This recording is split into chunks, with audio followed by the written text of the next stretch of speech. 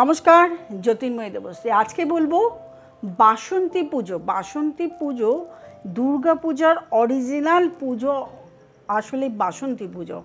আমরা শরৎকালে যে পুজোটা দেখি, সেই পুজোটা অকাল বোধন হয়েছিল রামচন্দ্র সীতার বনবাসের জন্য এই অকাল বোধনের পুজো করেছিলেন। কিন্তু অরিজিনালি বাসন্তী পুজোটাই কিন্তু দুর্গাপুজো তো আমরা আজকে বাসন্তী পুজোর একটা সুন্দর টোটকা করব, সেটাও কিন্তু ফুল দ্বারা করব।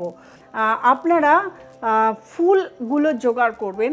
গোলাপ ফুল, পদ্ম ফুল, জুঁই ফুল, চন্দ্রমল্লিকা ফুল, শিউলি ফুল, নীলকণ্ঠ ফুল, এই ফুলগুলোকে একসঙ্গে জোগাড় করবেন। এবং আপনার বাড়িতে যে কোনো মাতৃমূর্তি, অর্থাৎ যদি কালী ঠাকুর থাকে, কালী ঠাকুর, দুর্গা ঠাকুর থাকে, দুর্গা ঠাকুর, লক্ষ্মী ঠাকুর থাকে, সরস্বতী ঠাকুর থাকে, যে কোনো মাতৃমূর্তি থাকে, সেই মাতৃমূর্তিকে আপনি বাসন্তী বা দুর্গা ঠাকুর আপনি কল্পনা করতেই পারেন। সেই দুর্গা ঠাকুর কল্পনা করে আপনার যে মনস্কামনা আছে, সেই মনস্কামনাটির জন্য এই ফুল, যে কোনো একটি ফুলও আপনি অর্পণ করতে পারেন বা প্রত্যেকটি ফুল সংগ্রহ করে আপনি অর্পণ করতে পারেন। এবং একটি ওড়না নেবেন, যে ওড়নাটি কালো হবে না। কালো এ ছাড়া যে কোনো ধরনের ওড়নাও আপনি এই ঠাকুরকে অর্পণ করতে পারেন।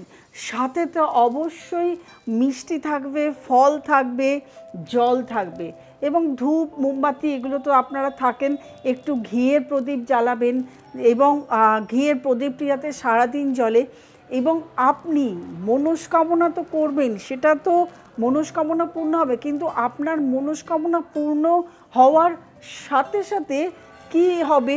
আপনি যত রকম বিপদে আছেন, সেই বিপদ থেকে মুক্ত হবে। যদি শরীর এবং স্বাস্থ্য আপনাদের খারাপ যায় সেটা থেকেও আপনারা মুক্তি পাবেন। যদি অর্থনৈতিক প্রবলেম থাকে সেটা থেকেও মুক্তি পাবেন। কারণ এগুলো আপনাদের মনস্কামনা। বলতে হবে, সন্তান নিয়েও যদি প্রবলেমে থাকেন, তাহলে সন্তান থেকেও কিন্তু আপনারা, সন্তান থেকে যে প্রবলেম হচ্ছিল, সেটা থেকেও মুক্তি পাবেন।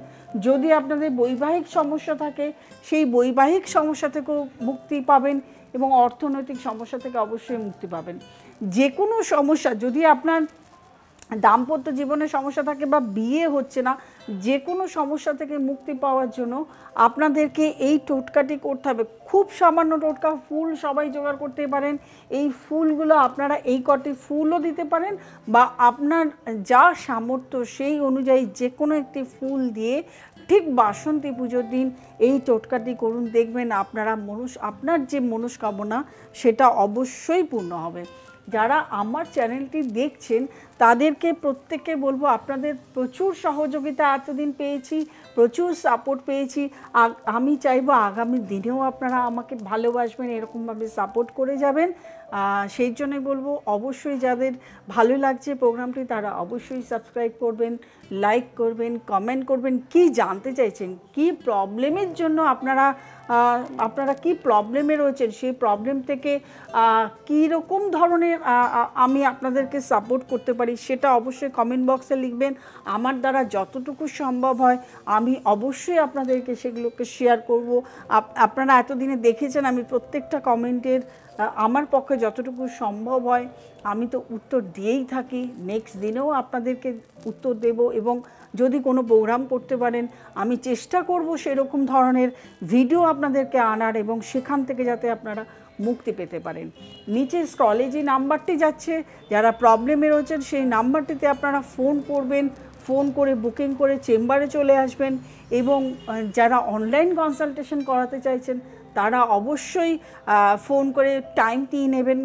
যে টাইম আমি বলব সেই টাইমে অবশ্যই কনসালটেশন আমি করে দেব। আমি চেষ্টা করি কনসালটেশন করে দেওয়ার। কারণ চেম্বারটাকে, চেম্বারের আশেপাশে যে কোনো একটা সময় আমি কনসালটেশন আপনাদেরকে দিই। যারা যারা আজ অবধি করেছেন তাদেরকে প্রত্যেককে দিই এবং আমার সাধ্যমতো সাপোর্ট অবশ্যই দিই। প্রত্যেকে ভালো থাকবেন, আনন্দে থাকবেন। নমস্কার।